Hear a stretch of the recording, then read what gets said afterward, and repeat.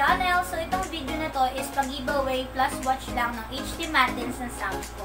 So, isaswatch ko lang sa inyo para makita nyo kung gaano kaganda yung mga shades na meron ang Sam's ko na HD Matins. And naisipan ko din na ipag-giveaway siya dito sa aming YT channel. Tapos, ayun, tapos nyo lang itong video na to para malaman nyo kung paano kayo makasali at kung paano yung mechanics. And guys, bago din pala ako magsimula mag-swatch, gusto ko lang magpasalamat sa inyo kasi 560 subscribers na tayo sa aming MGNR vlog. And as I promise, once na mahit na natin ang 700 subscribers, magkakaroon tayo ng pag-giveaway na like a gem. So, abang-abang mga ka-gems. so, simulan natin mag-swatch. So guys, meron kasing available 4 shades ang Sam's ko, HD Matte. So nandito si Selena, ayan. Tapos Yelena, Eve, and syempre si Tiffany. So, ang nasa labi ko nga pala ngayon is ang Selena na shade. And yun, swatch ko lang sa inyo para once na manalo kayo is makita nyo kung gaano kaganda, diba? Okay, let's go. Swatch na natin. So, unahin ko muna si Selena. Ito itsura ni Selena. May pagka-orange red. So, ang cute nung lalagyan na nila, no? May pagka-diamond.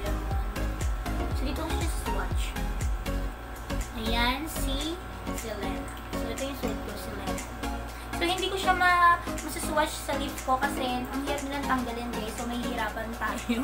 Kaya, ayan, dito na lang sa aking wrist. And then, next naman natin, si Eve. Ito yung tsura ni Eve. May pagka-dark. So, dark maroon yata. Hindi ako sure. Pero, ayan. Ito yung color ni Eve. Ang ganda-ganda. Para tayong vampira dito guys. Pero ito, ito si Eve ang pinaka-favorite ko sa lahat ng meron Tapos, next naman natin si Tiffany. So, as you can see, color pink si Tiffany. And bagay na bagay ito sa mapuputi. Kasi pang everyday look. Pwede rin naman sa mga morena kasi pang everyday look din naman ito si Tiffany.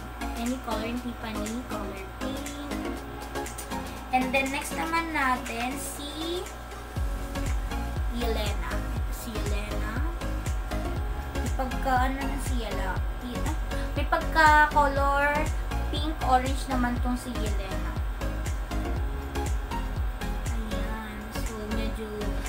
Mas darker lang tong si Selena. Ayun yung mga colors or shades na available ng HD Matte Pins. Tapos, sa lahat naman ng hindi ko mapipili, pwede naman kayo mag-avail sa mga nearest distributors and resellers. So, i-chat nyo lang or i-visit nyo lang yung Samsco page. Ayan, pwede na kayong mag-order dyan sa mga hindi ko mapipili. So, sa lahat naman nasasali, ayun nga, sabi ko na rin yung mechanics. So, ang gagawin nyo lang is, syempre, kailangan nakasubscribe kayo sa, sa aming YT channel, itong MGNR Vlog.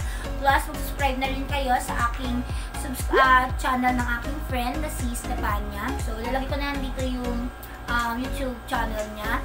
Tapos, so kailangan din nakalike kayo sa aming Facebook page, ang Lucky 8 Online Shop. And then, gagawa ako ng post dyan, ipipin post ko. Tapos, dun nyo comment yung screenshot nyo nang nakasubscribe kayo sa aking tatlong mechanics.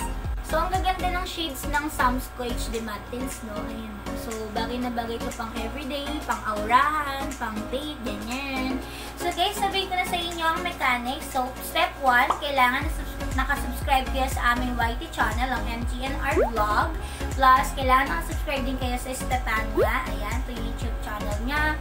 And then, i-like niyo yung Facebook page namin, yung Lucky 8 Online Shop. Tapos, step 2, ma gagawa kasi ako ng post doon sa 8 Online Shop. Pin post ko siya para mas mabilis nyo makita.